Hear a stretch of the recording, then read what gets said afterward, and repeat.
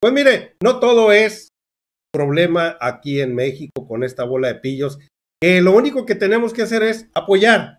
Claro. Desde todas las trincheras. Si hay firmas, si hay que salir a una marcha, a través de este tipo de redes, hay que hacer la presión. Pues llegan 667 mil vacunas Pfizer a México procedentes desde allá de Bruselas, Bélgica. Un saludote ya a Richard Dalier, que anda por aquellos rumbos. Ya suman más de 7 millones en total. Y así consecuentemente van a seguir llegando para que a finales de este año ya quedemos todos vacunados, Víctor. Sí. Ojalá ya para junio, julio que quedemos los más vulnerables, Víctor. Esto es la gente de 40 años hacia arriba que son los más vulnerables. Ya los de abajo, de 30 eh, tantos para abajo, son menos vulnerables. Este, ojalá ya queden todos vacunados para junio, julio, y de esa manera México ya tenga ese repunte económico tal cual necesitamos en este momento. Pues fíjate, Carlos, que es una muy buena noticia saber que siguen llegando vacunas aquí a México, porque la oposición de Andrés Manuel también lo ha retomado como una, una forma de estar golpeando o golpeteando a Andrés Manuel López Obrador, diciendo, hablando de muertos, hablando de infectados, hablando de que no hay vacunas, de que hasta cuándo se va a ampliar el plazo para poder vacunar a una cierta cantidad de gente, eh, como si Andrés Manuel trajera las vacunas en la bolsa y no la quisiera sacar. Eh, saben perfectamente lo difícil que es conseguir ahorita vacunas en el mundo, Carlos, porque hay países que no han recibido ni siquiera una sola vacuna. Ni una, Ni una vacuna. Y hay países que se están agandallando con las vacunas, sobre todo los países desarrollados, que no permiten que salgan vacunas de las que se están produciendo en sus territorios. Ellos tienen cubierta una buena cantidad y luego viene la oposición a decir, Estados Unidos ya lleva 80 millones. Sí, pero allá se producen las vacunas, aquí no. Es lo que no acaban de entender, Carlos. Y bueno, pues es buena noticia porque eso acalla bocas, acalla mentiras. Pero luego para desvirtuar, como tú dices, Víctor, salen esta bola de sinvergüenzas con este tipo de actitudes que, que no proceden, Víctor. No proceden, pero bueno, es parte del chilito y del limón que se necesita a veces para que el caldo tenga ahí cierto sabor. Otra vez contra López Gatel, ahora el senador del PAN, pedirá su sustitución. Y así se la han pasado durante este año y el año pasado. Se les acabó la imaginación, Carlos.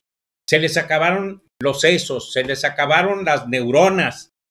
No tienen nada en la cabeza, no tienen, no tienen creatividad, no tienen ganas de salir adelante de todo esto, Carlos. Lo único que han demostrado es su miseria y su ignorancia.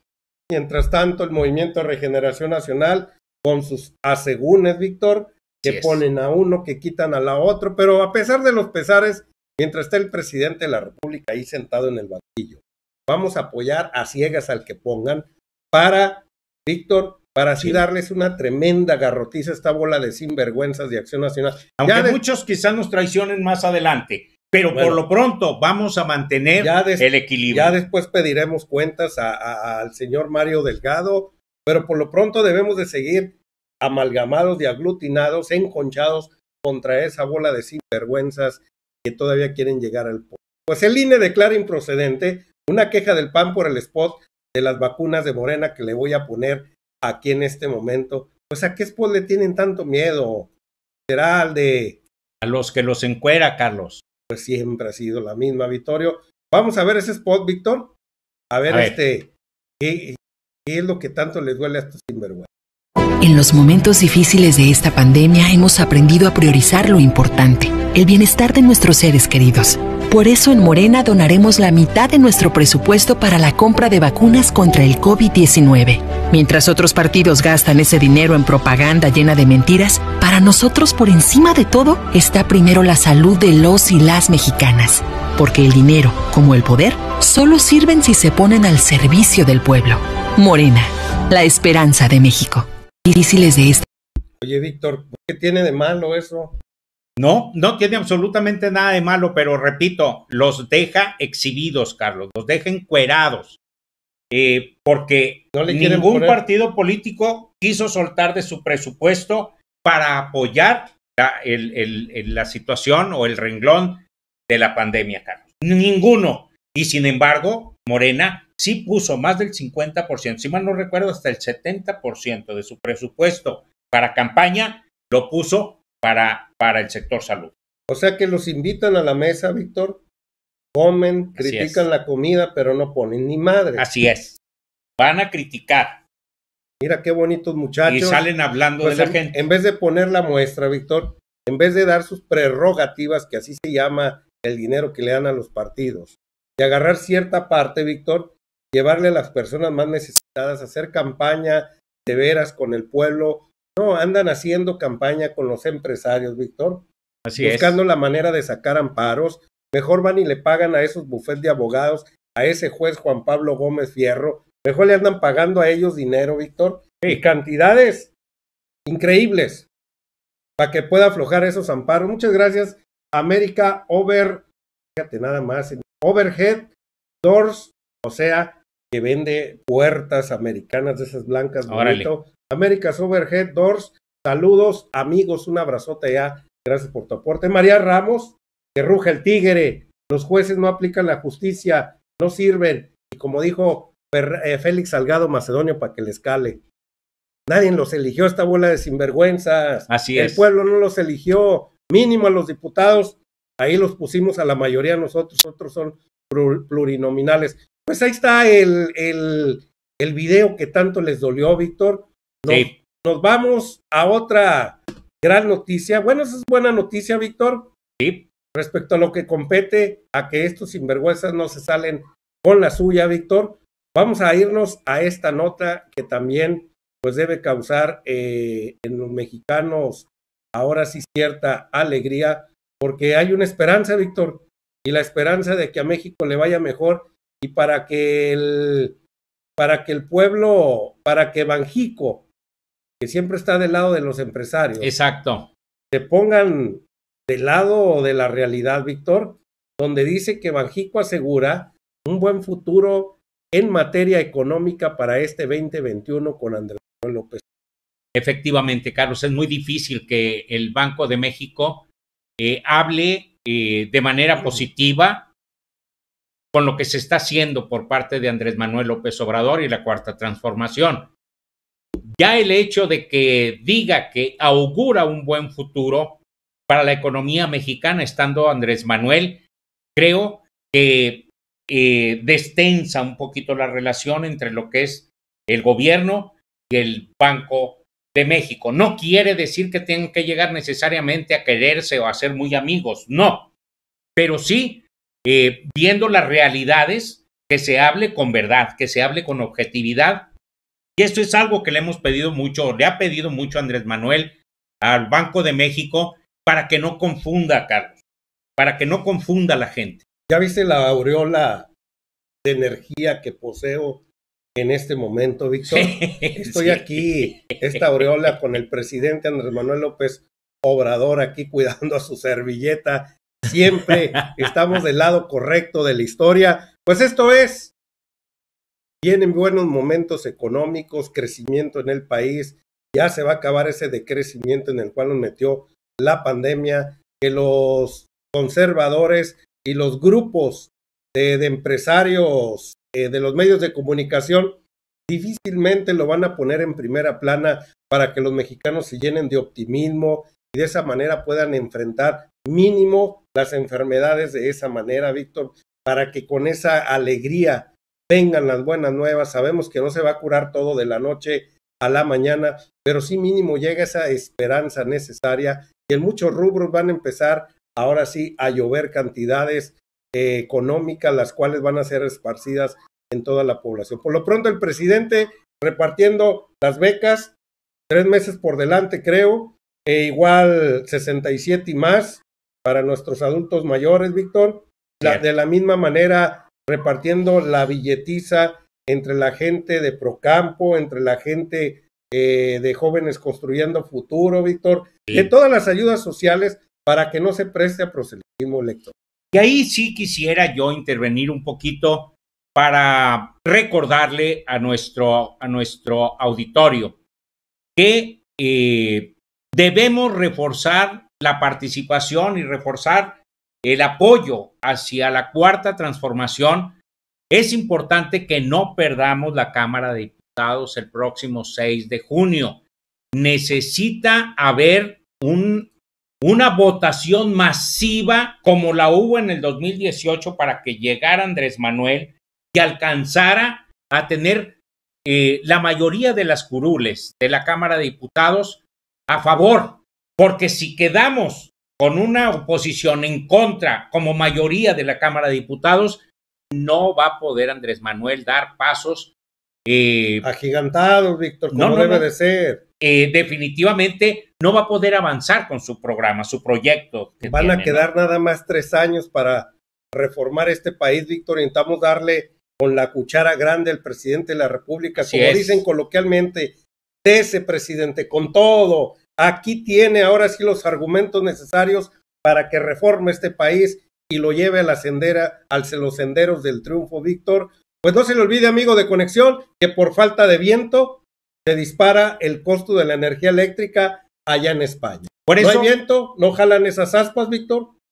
Y se encarece. Y viene para en contra del pueblo.